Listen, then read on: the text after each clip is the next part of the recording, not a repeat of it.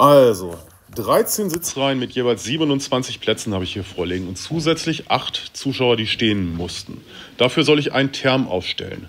Also habe ich 13 Sitzreihen mal 27 Plätze plus 8, die stehen mussten. Das ist bereits der ganze Term.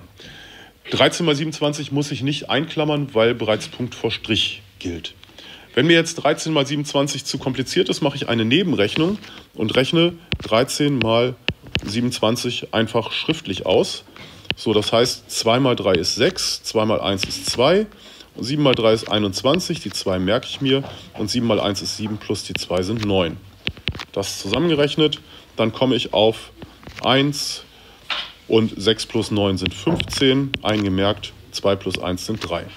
Also 351 als Zwischenergebnis, das heißt, ich komme hier auf 351 plus 8 und 351 plus 8, das ist gleich 359. Fertig, mehr war das nicht. Ich könnte jetzt noch einen Antwortsatz schreiben und sagen, 359 Zuschauer waren anwesend. Fertig.